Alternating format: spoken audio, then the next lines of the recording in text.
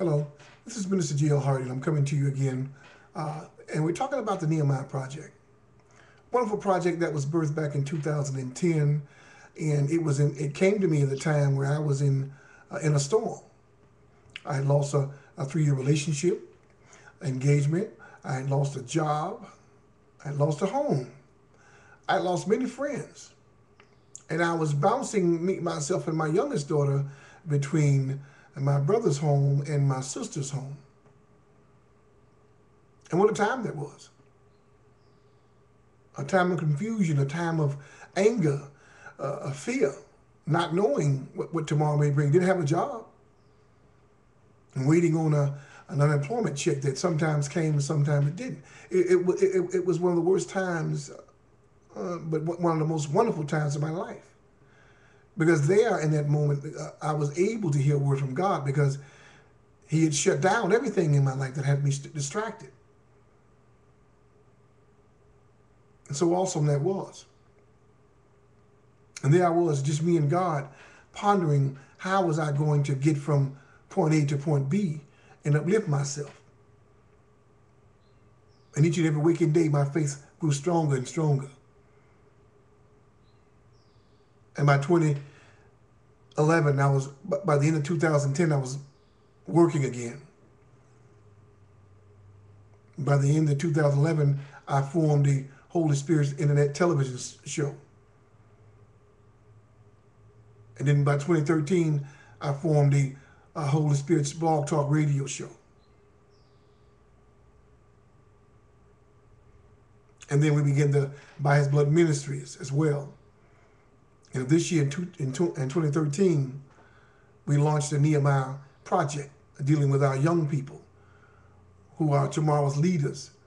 And what this, and what this, what this Nehemiah Project entails is young people go, going out and being active in the communities and restoring communities back to where they once was by planting Liberty Gardens, taking their neighbors to, to the grocery or to, to a doctor's appointment, refurbishing abandoned buildings, mowing lawns,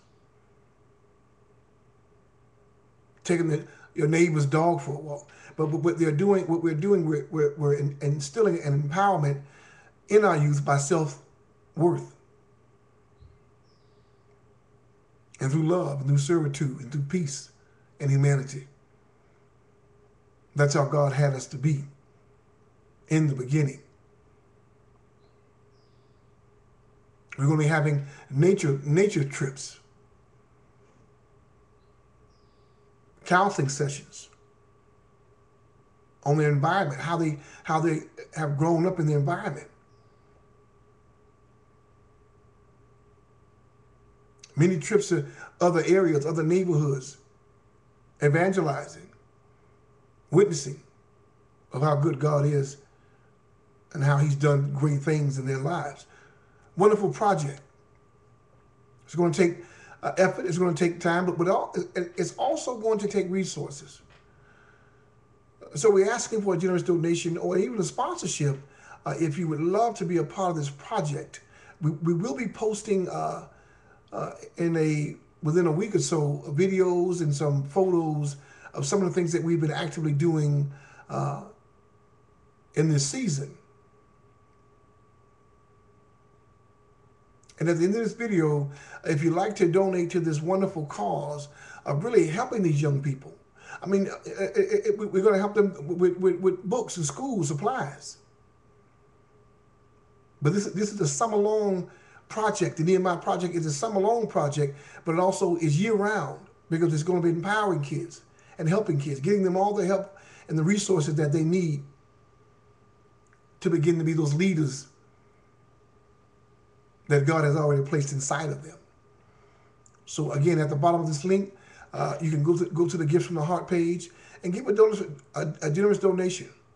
And if you like to be a sponsor, we would love to hear from you. And there, there at the bottom of the screen as well will be our contact page. Our contact page. It is our hope that people begin to share this page and this site dealing with our youth to be able to begin to galvanize them, to uplift them, to inspire them, and to becoming the kings and queens that God intended them to be. Thank you for watching, and I'll talk to you real soon. Peace and God bless.